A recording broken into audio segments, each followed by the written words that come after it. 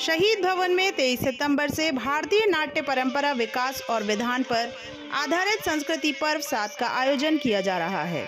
दो दिवसीय इस समारोह का आयोजन कला समय, संस्कृति, शिक्षा और समाज सेवा समिति तथा मध्य प्रदेश संस्कृति विभाग के सहयोग से किया जा रहा है। समारोह में गायन, वादन, विमर्श तथा नाट्य प्रस्तुतियों का प्रदर्शन किया जाएगा।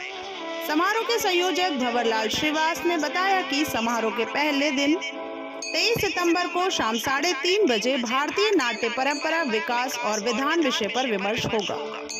इस सत्र की अध्यक्षता मध्य प्रदेश नाट्य विद्यालय के निर्देशक टीकम जोशी करेंगे।